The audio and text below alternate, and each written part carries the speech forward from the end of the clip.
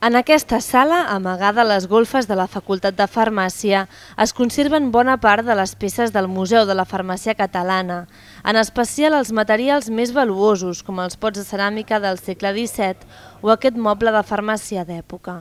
La biblioteca del museu conté també multitud d'exemplars incunables i alguna peça única com aquesta. És la primera farmacopea editada datada a la península Ibèrica i a, i a Catalunya. És del 1511. Es coneix un únic exemplar que es conserva precisament a la, al Museu de la Farmàcia Catalana. Aquest document es va anomenar Concòrdia i va servir perquè els farmacèutics de Barcelona unifiquessin criteris a l'hora d'administrar medicaments.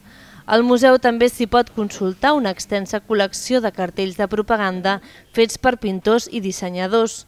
En total hi ha entre 8 i 10.000 peces i molt de material encara per classificar.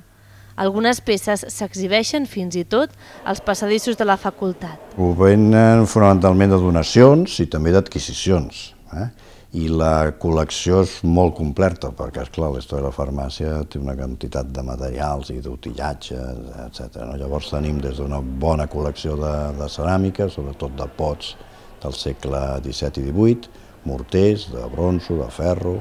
El museu es completa amb la farmacoteca, una col·lecció de medicaments industrials de la indústria farmacèutica del segle XX, ubicat a la biblioteca.